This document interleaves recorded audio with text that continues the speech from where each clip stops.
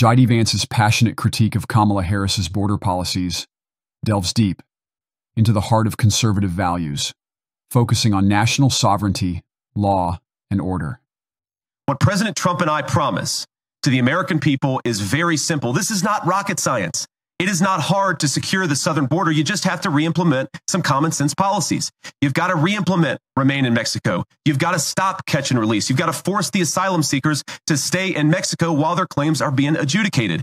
And you've got to finish this border wall and reimplement deportations. If people can come into this country and they know they're never going to be deported, you effectively have an open border. That's what Kamala Harris promised. That's what Kamala Harris did. And Donald Trump and I promised to do exactly the opposite.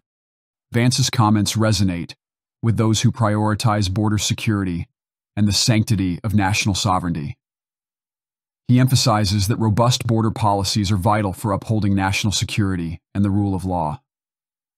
His fierce criticism of Kamala Harris and the current administration highlights a widespread concern about the dangers of lenient immigration policies and open borders. The solution he advocates aligns with core conservative beliefs, calling for strict enforcement of immigration laws and ensuring that only those who respect legal procedures can enter and remain in the country.